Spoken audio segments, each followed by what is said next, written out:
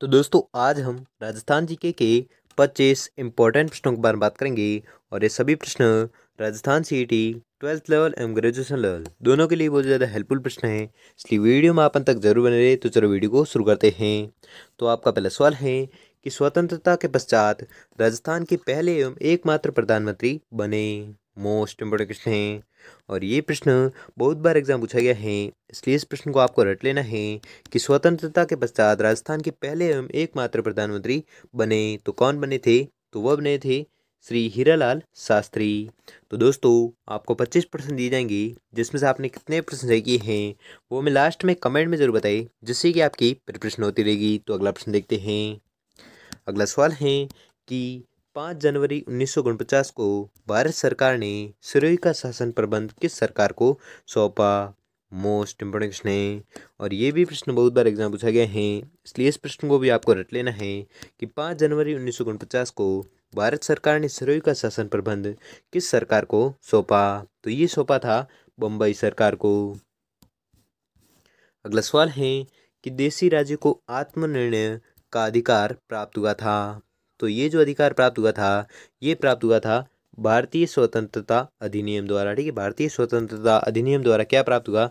देशी राज्य को आत्मनिर्णय का अधिकार है जो प्राप्त हुआ था। अगला सवाल है कि मत्स्य संघ का कौन सा राज्य जनता के बहुमत के आधार पर उत्तर प्रदेश के साथ विलीनीकरण के लिए तैयार था?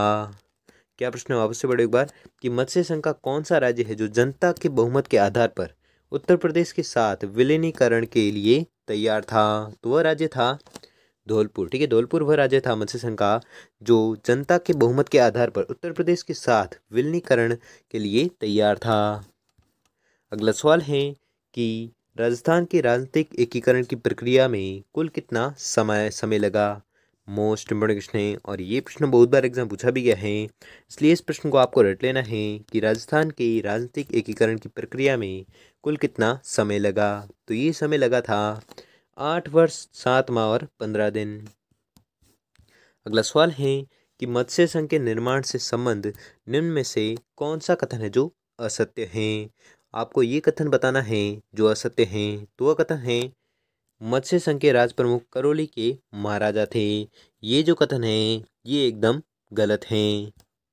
अगला सवाल है कि 18 मार्च 1948 को मत्स्य संघ का उद्घाटन समारोह किस दुर्ग में हुआ था? मोस्ट इम्पोर्टेंट क्वेश्चन है। क्या प्रश्न है कि 18 मार्च 1948 को मत्स्य संघ का उद्घाटन समारोह किस दुर्ग में हुआ था? तो वह दुर्ग था लोहागढ़ दुर्ग। अगला सवाल है कि अजमेर के राजस्थान में विलय से पूर्व अजमेर की विधानसभा में सदस्यों की संख्या कितनी थी? तो सदस्यों की जो संख्या थी, वह थी तीस। अगला सवाल है कि राजस्थान में अजमेर के विलय के समय वहाँ का मुख्यमंत्री कौन था? मोस्ट इम्पोर्टेंट क्वेश्चन है। क्या प्रश्न वापस से बड़े एक बार। कि राजस्थान में अजमेर के विलय के समय वहाँ का मुख्यमंत्री कौन था? तो वहाँ का मुख्यमंत्री था हरिभाऊ उपाध्याय। अगला सवाल है कि 1948 में किन को मत्स्य संघ का राज प्रमुख बनाया गया था? मोस्ट इम्पोर्टेंट क्वेश्चन है। तो मत्स्य संघ का जो राज प्रमुख बनाया गया था, वो बनाया था महाराजा उदयभान सिंह को। अगला सवाल है कि 25 सॉरी अगला सवाल है कि 25 मार्च 1948 को गठित संयुक्त राजस्थान का प्रधानमंत्री बनाया गया था। तो किसे बनाया गया था?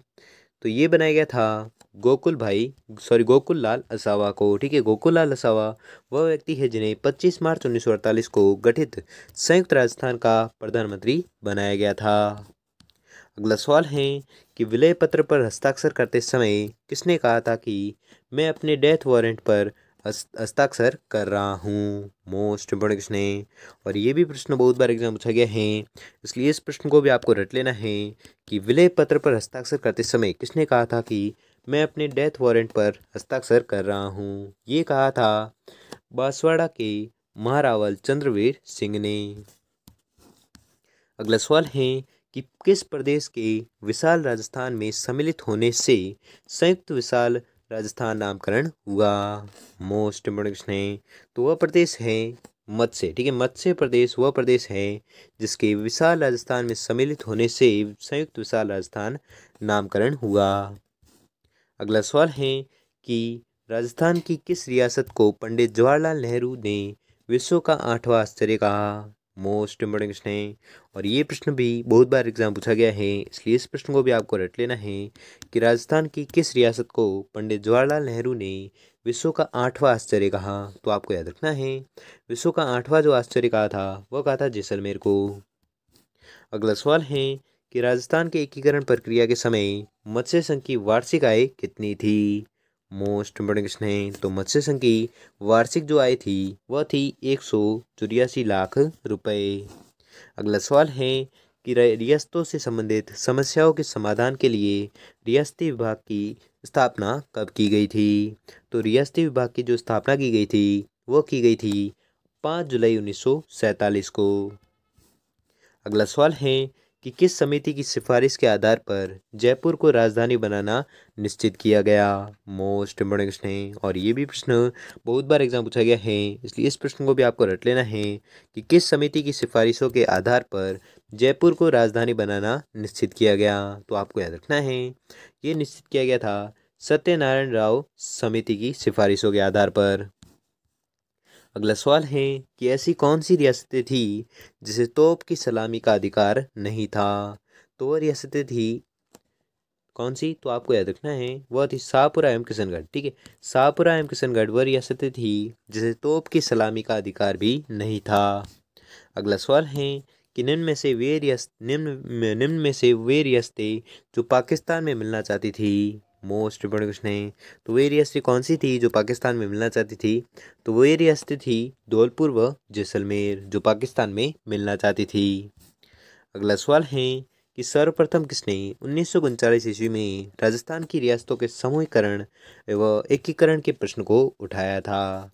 मोस्ट इम्पोर्टेंट क्वेश्चन है और ये भी प्रश्न बहुत बार एग्ज़ाम पूछा गया है, इसलिए इस प्रश्न को भी आपको रट लेना है कि सर्वप्रथम किसने उन्नीस में राजस्थान की रियासतों के समूहीकरण व एकीकरण के प्रश्न को उठाया था। तो ये प्रश्न उठाया था लॉर्ड लिंथ लेथिगो ने ठीक है लॉर्ड लिन लेथिगो ने ये प्रश्न उठाया था। कौन सा प्रश्न? तो राजस्थान की रियासतों के समीकरण व एकीकरण का प्रश्न। अगला सवाल है कि राजस्थान के अंतिम महाराज प्रमुख थे। मोस्ट इम्पोर्टेंट क्वेश्चन है। और ये भी प्रश्न बहुत बार एग्ज़ाम पूछा गया है। इसलिए इस प्रश्न को भी आपको रट लेना है कि रा, राजस्थान के अंतिम महाराज प्रमुख थे तो वह थे, कौन? तो आपको याद रखना है, वह थे महाराजा भूपाल सिंह। अगला सवाल है कि राजस्थान संघ का निर्माण 25 मार्च उन्नीस को हुआ और इसमें राज प्रमुख किसे बनाया गया? तो इसमें जो राज प्रमुख बनाया गया था, वो बनाया गया था भीम सिंह को, ठीक है? भीम सिंह वह थे जो राजस्थान संघ का राजस्थान संघ के राज प्रमुख थे। और इन्हें कब बनाया गया था? तो 25 मार्च उन्नीस को इन्हें राज प्रमुख बनाया गया था। अगला सवाल है कि राजस्थान की क्षेत्रफल की दृष्टि से सबसे बड़ी रियासत थी। मोस्ट इम्पोर्टेंट क्वेश्चन है। और ये भी प्रश्न बहुत बार एग्ज़ाम पूछा गया है, इसलिए इस प्रश्न को भी आपको रट लेना है कि राजस्थान की क्षेत्रफल की दृष्टि से सबसे बड़ी रियासत कौन सी थी? तो वह रियासत थी जोधपुर। अगला सवाल है कि शंकर राय देव कमेटी की सिफारिश पर कौन सा संघ है जो बना? मोस्ट इम्पोर्टेंट क्वेश्चन है।